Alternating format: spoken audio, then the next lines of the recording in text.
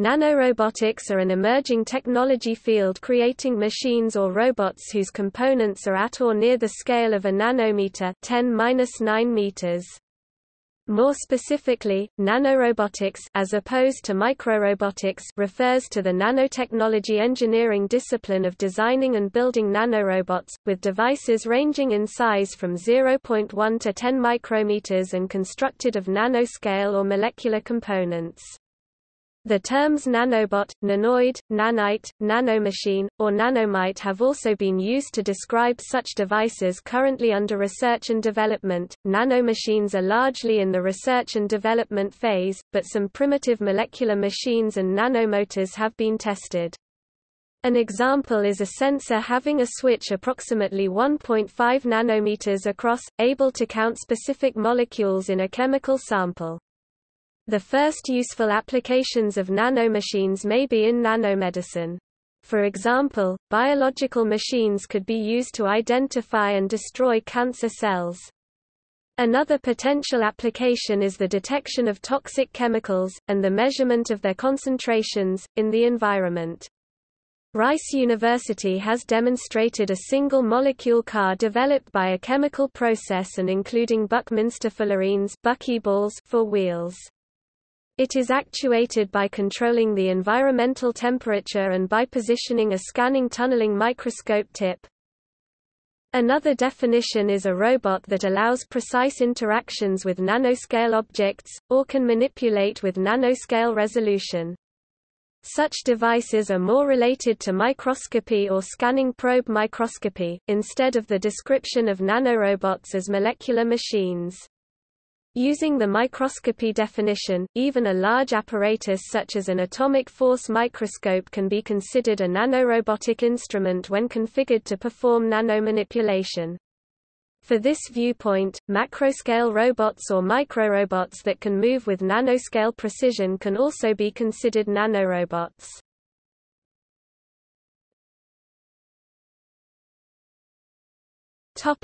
Nanorobotics theory According to Richard Feynman, it was his former graduate student and collaborator Albert Hibbs who originally suggested to him circa 1959, the idea of a medical use for Feynman's theoretical micromachines see nanomachine. Hibbs suggested that certain repair machines might one day be reduced in size to the point that it would, in theory, be possible to as Feynman put it, swallow the surgeon. The idea was incorporated into Feynman's 1959 essay There's Plenty of Room at the Bottom. Since nanorobots would be microscopic in size, it would probably be necessary for very large numbers of them to work together to perform microscopic and macroscopic tasks. These nanorobot swarms, both those unable to replicate as in utility fog and those able to replicate unconstrainedly in the natural environment as in gray goo and synthetic biology, are found in many science fiction stories, such as the Borg nanoprobes in Star Trek and the Outer Limits episode, The New Breed. Some proponents of nanorobotics, in reaction to the grey goo scenarios that they earlier helped to propagate, hold the view that nanorobots able to replicate outside of a restricted factory environment do not form a necessary part of a purported productive nanotechnology, and that the process of self-replication, were it ever to be developed, could be made inherently safe. They further assert that their current plans for developing and using molecular manufacturing do not in fact include free foraging replicators. The most detailed theoretical discussion of nanorobotics, including specific design issues such as sensing, power communication, navigation, manipulation, locomotion, and onboard computation, has been presented in the medical context of nanomedicine by Robert Freitas. Some of these discussions remain at the level of unbuildable generality and do not approach the level of detailed engineering.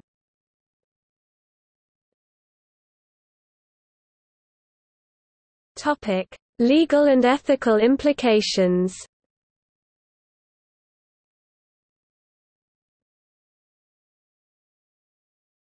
Topic: Open technology.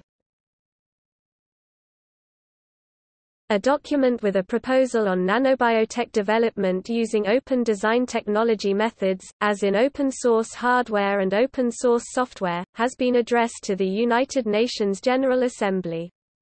According to the document sent to the United Nations, in the same way that open source has in recent years accelerated the development of computer systems, a similar approach should benefit the society at large and accelerate nanorobotics development.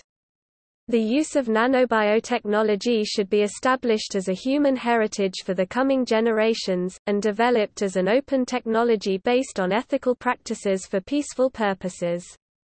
Open technology is stated as a fundamental key for such an aim.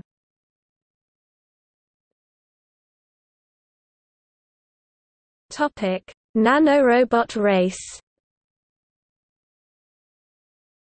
In the same ways that technology research and development drove the space race and nuclear arms race, a race for nanorobots is occurring. There is plenty of ground allowing nanorobots to be included among the emerging technologies. Some of the reasons are that large corporations, such as General Electric, Hewlett-Packard, Synopsys, Northrop Grumman and Siemens have been recently working in the development and research of nanorobots. Surgeons are getting involved and starting to propose ways to apply nanorobots for common medical procedures. Universities and research institutes were granted funds by government agencies exceeding $2 billion towards research developing nanodevices for medicine. Bankers are also investing with the intent to acquire beforehand rights and royalties on future nanorobots commercialization. Some aspects of nanorobot litigation and related issues linked to monopoly have already arisen. A large number of patents has been granted recently on nanorobots, done mostly for patent agents, companies specialized solely on building patent portfolios, and lawyers. After a long series of patents and eventually litigations, see for example the invention of radio, or the war of currents, emerging fields of technology tend to become a monopoly, which normally is dominated by large corporations.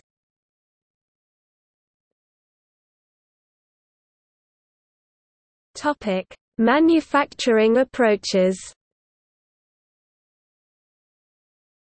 Manufacturing nanomachines assembled from molecular components is a very challenging task. Because of the level of difficulty, many engineers and scientists continue working cooperatively across multidisciplinary approaches to achieve breakthroughs in this new area of development. Thus, it is quite understandable the importance of the following distinct techniques currently applied towards manufacturing nanorobots. Topic: Biochip. The joint use of nanoelectronics, photolithography, and new biomaterials provides a possible approach to manufacturing nanorobots for common medical uses, such as surgical instrumentation, diagnosis, and drug delivery. This method for manufacturing on nanotechnology scale is in use in the electronics industry since 2008. So, practical nanorobots should be integrated as nanoelectronics devices, which will allow teleoperation and advanced capabilities for medical instrumentation.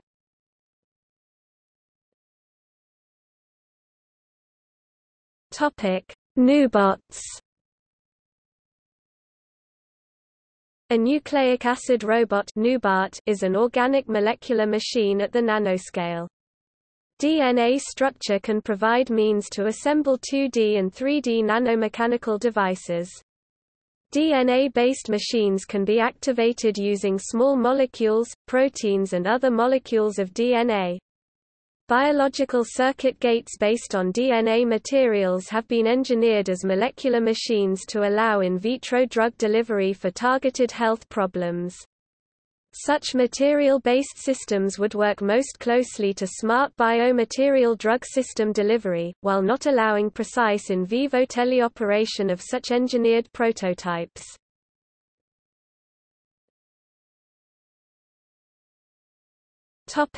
Surface-bound systems Several reports have demonstrated the attachment of synthetic molecular motors to surfaces. These primitive nanomachines have been shown to undergo machine-like motions when confined to the surface of a macroscopic material. The surface-anchored motors could potentially be used to move and position nanoscale materials on a surface in the manner of a conveyor belt.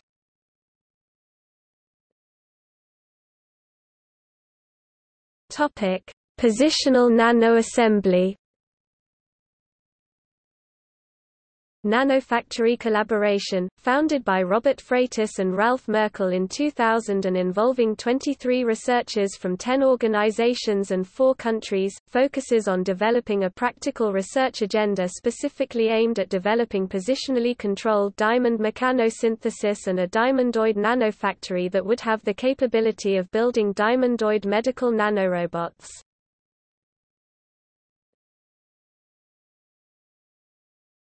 Topic: Biohybrids. The emerging field of biohybrid systems combines biological and synthetic structural elements for biomedical or robotic applications. The constituting elements of bio-nanoelectromechanical systems BioNEMS are of nanoscale size, for example DNA, proteins or nanostructured mechanical parts. Thiol beam resist allow the direct writing of nanoscale features, followed by the functionalization of the natively reactive resist surface with biomolecules. Other approaches use a biodegradable material attached to magnetic particles that allow them to be guided around the body.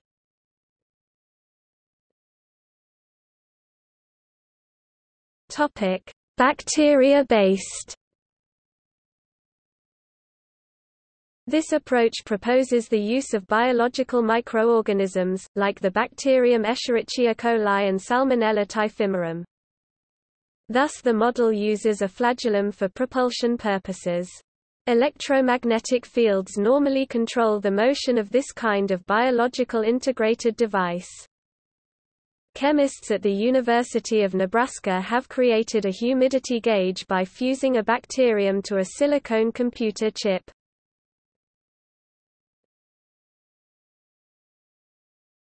Topic: Virus-based. Retroviruses can be retrained to attach to cells and replace DNA. They go through a process called reverse transcription to deliver genetic packaging in a vector. Usually, these devices are POL, GAG genes of the virus for the capsid and delivery system. This process is called retroviral gene therapy, having the ability to re-engineer cellular DNA by usage of viral vectors. This approach has appeared in the form of retroviral, adenoviral, and lentiviral gene delivery systems. These gene therapy vectors have been used in cats to send genes into the genetically modified organism GMO, causing it to display the trait.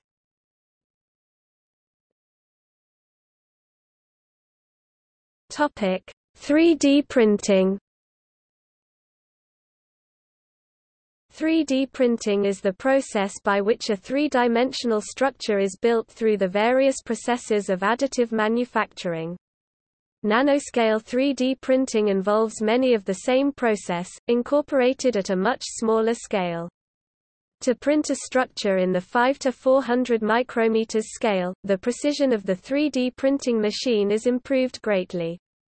A two-steps process of 3D printing, using a 3D printing and laser-etched plates method was incorporated as an improvement technique. To be more precise at a nanoscale, the 3D printing process uses a laser etching machine, which etches into each plate the details needed for the segment of nanorobot. The plate is then transferred to the 3D printer, which fills the etched regions with the desired nanoparticle. The 3D printing process is repeated until the nanorobot is built from the bottom up. This 3D printing process has many benefits. First, it increases the overall accuracy of the printing process.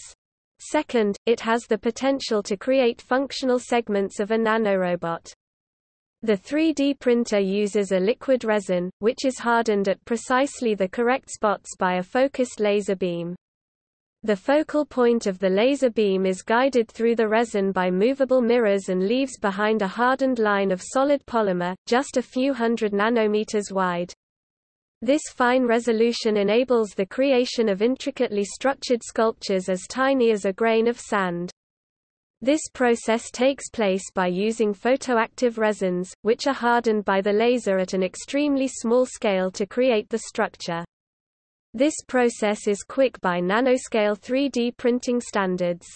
Ultra-small features can be made with the 3D microfabrication technique used in multi-photon photopolymerization.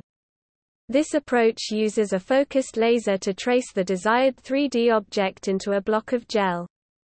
Due to the nonlinear nature of photoexcitation, the gel is cured to a solid only in the places where the laser was focused while the remaining gel is then washed away. Feature sizes of under 100 nanometers are easily produced, as well as complex structures with moving and interlocked parts.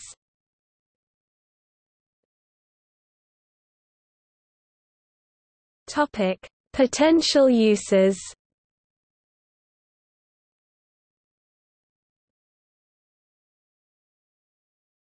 Topic: Nanomedicine. Potential uses for nanorobotics in medicine include early diagnosis and targeted drug delivery for cancer, biomedical instrumentation, surgery, pharmacokinetics, monitoring of diabetes, and health care. In such plans, future medical nanotechnology is expected to employ nanorobots injected into the patient to perform work at a cellular level. Such nanorobots intended for use in medicine should be non-replicating, as replication would needlessly increase device complexity, reduce reliability, and interfere with the medical mission. Nanotechnology provides a wide range of new technologies for developing customized means to optimize the delivery of pharmaceutical drugs. Today, harmful side effects of treatments such as chemotherapy are commonly a result of drug delivery methods that don't pinpoint their intended target cells accurately. Researchers at Harvard and MIT, however, have been able to attach special RNA strands, measuring nearly 10 nanometers in diameter, to nanoparticles, filling them with a chemotherapy drug. These RNA strands are attracted to cancer cells. When the nanoparticle encounters a cancer cell, it adheres to it, and releases the drug into the cancer cell. This directed method of drug delivery has great potential for treating cancer patients while avoiding negative effects commonly associated with improper drug delivery. The first demonstration of nanomotors operating in living organism was carried out in 2014 at University of California, San Diego. MRI-guided nanocapsules are one potential precursor to nanorobots. Another useful application of nanorobots is assisting in the repair of tissue cells alongside white blood cells. Recruiting inflammatory cells or white blood cells which include neutrophil granulocytes, lymphocytes, monocytes, and mast cells to the affected area is the first response of tissues to injury. Because of their small size, nanorobots could attach themselves to the surface of recruited white cells, to squeeze their way out through the walls of blood vessels and arrive at the injury site, where they can assist in the tissue repair process. Certain substances could possibly be used to accelerate the recovery. The science behind this mechanism is quite complex. Passage of cells across the blood endothelium, a process known as transmigration, is a mechanism involving engagement of cell surface receptors to adhesion molecules, active force exertion and dilation of the vessel walls and physical deformation of the migrating cells. By attaching themselves to migrating inflammatory cells, the robots can in effect hitch a ride across the blood vessels, bypassing the need for a complex transmigration mechanism of their own. As of 2016, in the United States, Food and Drug Administration (FDA) regulates nanotechnology on the basis of size. Soutik Betal, during his doctoral research at the University of Texas, San Antonio developed nanocomposite particles that are controlled remotely by an electromagnetic field. This series of nanorobots that are now enlisted in the Guinness World Record, can be used to interact with the biological cells. Scientists suggest that this technology can be used for the treatment of cancer.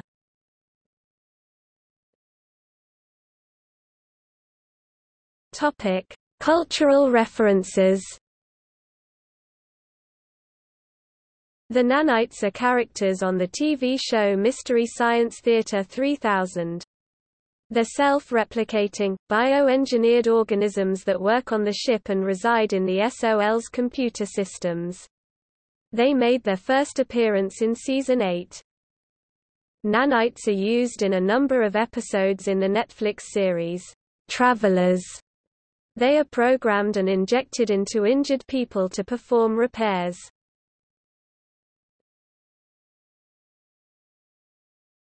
Topic. See also. Molecular machine. Nanomotors. Lists of types of robots. Power sources in nanorobotics. 1